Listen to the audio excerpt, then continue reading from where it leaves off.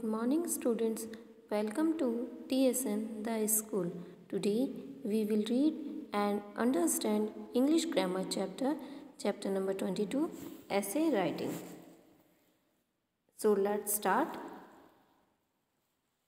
Essay writing. The word essay means the endeavor or attempt to write on various topics including person, place, animals, objects and scenes of some incidents. Students essay means होता है निबंध उसका क्या मतलब होता है कि एक कोई हमें कोशिश करना, प्रयास करना, किसी भी वेरियस टॉपिक्स हो सकते हैं, उनमें इंक्लूड हो सकता है पर्सन का, किसी भी व्यक्ति का, जगह का, किसी भी एनिमल का, कोई भी चीज़ का, या किसी सीन का, कोई, एक ऐसा इंसिडेंट हो सकता है कि उसके ऊपर हमें कुछ लिखना होता है ना कुछ लिखने की कोशिश करनी होती है। The length of an essay depend on the topic और जो उसकी लेंथ है, लंबाई है, कि कितने शब्दों में होना चाहिए, कितनी लाइंस का होना चाहिए, वो टॉपिक पे डिपेंड करता है। Generally it means to convey one's ideas on a particular topic generally साधारणतः हम देखें तो इसका क्या मतलब होता है? कि किसी व्यक्ति के जो आइडिया हैं, विचार हैं, किसी भी एक टॉपिक के ऊपर। एक टॉपिक के ऊपर कोई भी हमें जैसे टॉपिक दे दिया जाएगा एग्ज़ाम्पल माई स्कूल ठीक है? या फिर आपको दे दिया माई कंट्री तो एक टॉपिक दे दिया, उसके ऊपर आइडियाज़ आपके जो भी थॉट्स हैं, वो उसके ऊपर क्या हो सकते हैं, और वो आपके उस पर डिपेंड करता है कि आप कितना लिख पाते हैं उसके ऊपर बट होना उसी के ऊपर चाहिए। इन सिंपल क्लियर प्रोज उसमें साथ ही साथ ये भी होना चाहिए, ये भी देखा जाता है ऐसे में कि आपकी जो लैंग्वेज हो वो सिंपल हो क्लियर हो डायरेक्ट मीनिंग निकल रहा हो और उतना कॉम्प्लिकेटेड सा ना हो। The following point should be adhered to while writing an essay जब हम ऐसे लिखते हैं तो कुछ पॉइंट्स का हमें पालन करना चाहिए, वो नीचे लिखे हुए निम्नलिखित हैं, कौन से पॉइंट्स होते हैं वो? फ़र्स्ट पॉइंट है use simple soft and smooth language सबसे पहली और ज़रूरी बात होती है स्टूडेंट्स कि जब भी हम ऐसे लिखते हैं तो उसके लिए सिंपल सॉफ्ट और स्मूथ लैंग्वेज यानी कि हमारी लैंग्वेज जो है कॉम्प्लिकेटेड नहीं होनी चाहिए। Second as far as possible avoid lengthy sentences कि कोशिश करनी चाहिए जितना हो सके कि हमें लेंथी सेंटेंसेस नहीं लिखनी चाहिए शॉर्ट एंड स्वीट होने चाहिए वो। Third write what is relevant to the topic कि टॉपिक से मिलता जुलता, क्या है? टॉपिक के बेस ही होना चाहिए कि ये नहीं कि हमसे पूछा जा रहा है, हमारे स्कूल के बारे में और हमारे घर के बारे में बात कर रहे हैं हम उसके अंदर, है ना? तो उस टॉपिक से रिलेट करना चाहिए। फोर्थ अवॉइड रिपीटेशंस यानी कि बहुत से बच्चे ऐसे होते हैं कि एक ही सेंटेंस को घुमा फिरा के बार बार बार बार करते रहते हैं तो रिपीटेशन नहीं होना चाहिए, उसको बार बार नहीं करना चाहिए। Fifth divide essay into paragraphs essay को पैराग्राफ्स में डिवाइड करके लिखना चाहिए, नहीं, एक ही बार सारा पूरा लिख दिया, उसको टू थ्री पार्ट्स करने चाहिए, उसके पैराग्राफ्स बना के फिर लिखना चाहिए तो इफ़ेक्टिव लगता है स्टूडेंट्स को थोड़ा। सिक्स है introduce and conclude the topic in an empathetic manner कि जब भी हम कभी कोई ऐसे स्टार्ट करते हैं तो उसका इंट्रोडक्शन और जो लास्ट है, वो इफ़ेक्टिव मैनर में होना चाहिए, बहुत ही अच्छा होना चाहिए। ऑल राइट स्टूडेंट्स तो ऐसे को जब हम राइट डाउन करते हैं तो ये कुछ पॉइंट्स हैं जिनका कि हमें ध्यान रखना चाहिए। स्टूडेंट्स आपके जो हैं, बहुत सारे हैं ऐसे इसमें, लेकिन हम, क्यों बिकॉज़ आप जान ही रहे हैं इस बार जो पेंडिंग में चल रहा है तो आपको स्कूल नहीं आने दिया जा रहा, आपको वीडियोस के थ्रू ही पढ़ाया जा रहा है तो हम ऐसे में भी थोड़ा कट कर देंगे। आपके ओनली टू ही ऐसे रख रहे हैं इस बार। फ़र्स्ट है आपका my brother my mother second वाला जैसे ही मैं आपको कराऊँगी, मैं अभी आपको बता दूँगी। फ़र्स्ट है माय मदर तो स्टार्ट करते हैं। तो मैं इसका हिंदी भी मीनिंग बताऊँगी स्टूडेंट्स ताकि आपको प्रॉब्लम ना हो कि आप सेंटेंस को एकदम ऐसे रटे नहीं, है ना? समझें उन सेंटेंस का मीनिंग और अब जब एग्ज़ाम में आए तो उनको आप राइट डाउन कर सकें। ऑल राइट तो स्टार्ट करते हैं। A mother is a God's gift to a child कि मदर जो है, बच्चे के लिए भगवान का तोहफा होती है।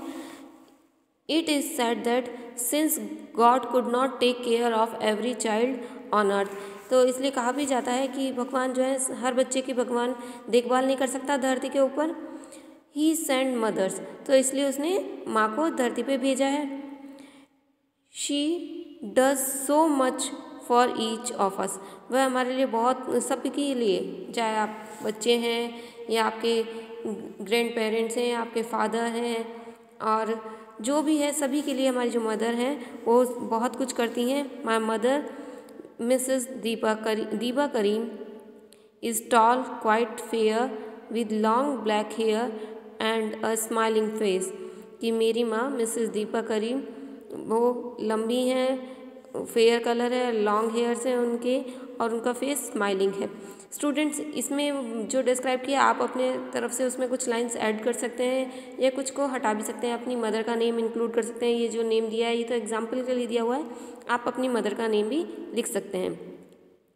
She cooks our food with the help of Radha didi our domestic helper हमारा खाना बनाती हैं वो किसकी हेल्प से? हमारी जो डोमेस्टिक हेल्पर हैं, राधा दीदी, उनकी हेल्प से। She helps father in his business वो हमारे, जो फादर हैं, पिताजी हैं, उनके बिज़नेस में भी मदद करती हैं सुपरवाइज अवर स्टडीज़ हमारी पढ़ाई का ध्यान रखती हैं कि हम निरीक्षण करती हैं कि कैसे पढ़ रहे हैं टाइम टू टाइम देख रहे हैं, नहीं देख रहे हैं ना।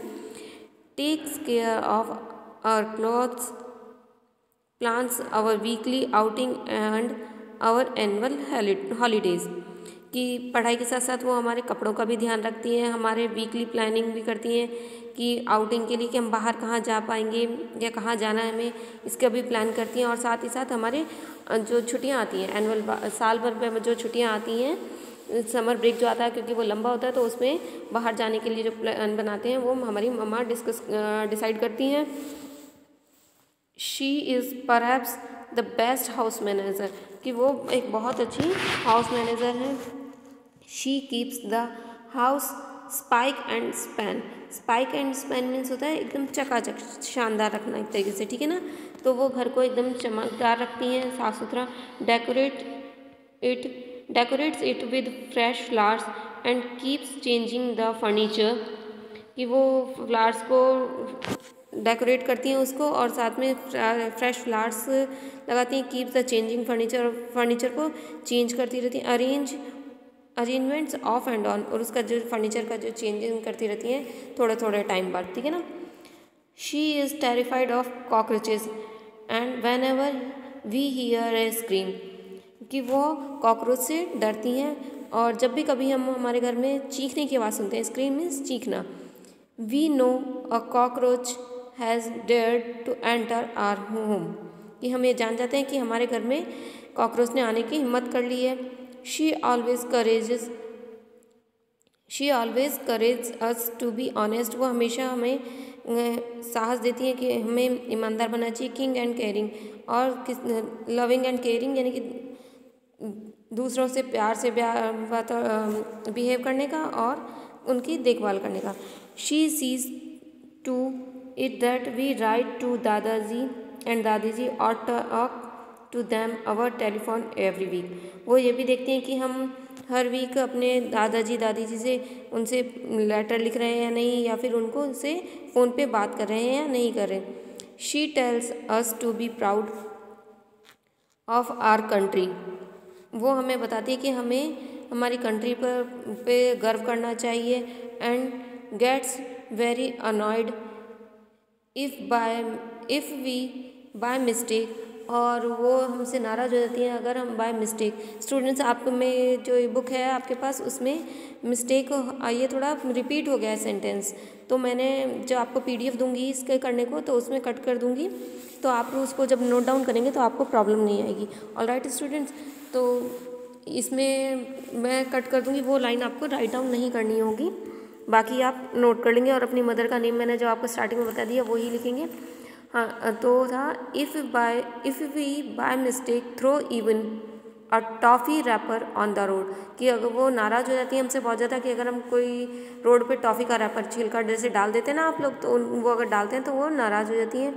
She tells us that if we can not help others वो हमें बताती हैं कि अगर हम दूसरे की मदद नहीं कर सकते at least we should not harm any तो हमें किसी को नुकसान भी नहीं पहुंचाना चाहिए।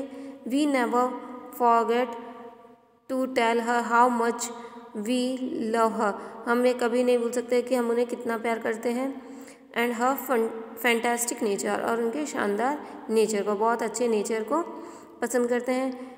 We long for her hugs and kisses the moment we are away from her तो हम उनके जो किसेज हैं और उनका जो प्यार है उनके एक तो उसको बहुत मिस करते हैं। जब वो हम उनसे दूर होते हैं we have learn to compassionate and caring because she is our role model कि हम उनसे सीखते हैं, उनसे हमने सीखा दयालु होना, है ना? काइंड एक तरीके से केयरिंग काइंड एंड केयरिंग के लिए देखभाल करना, क्योंकि वो हमारी रोल मॉडल आदर्श हैं हमारी। She is our best teacher friend and guide वो हमारी सबसे अच्छी टीचर हमारी दोस्त और हमारी मार्गदर्शक हैं। और राइट स्टूडेंट्स तो आप इसमें अपना कुछ जो ऐड करना चाहें तो ऐड भी कर सकते हैं और अगर कोई करना चाहें तो वो भी आप कर सकते हैं। और राइट स्टूडेंट्स तो आपका ये फ़र्स्ट पार्ट कंप्लीट हुआ है। मैं सेकंड पार्ट में आपको सेकंड वाला करवाऊँगी। तो इसलिए आप इसे कंप्लीट कर लीजिएगा। और अगर कोई आपको प्रॉब्लम होगा तो पीडीएफ में इसका शो करूँगी, आपको सेंड करूँगी, ताकि आप उसमें से देखकर इसको अपनी नोटबुक में नोट डाउन कर लें। इसी तरीके से जो सेकंड वाला सेंड किया जाएगा तो उसका भी आपको पीडीएफ दे दिया जाएगा तो आप उसको भी कर लीजिएगा।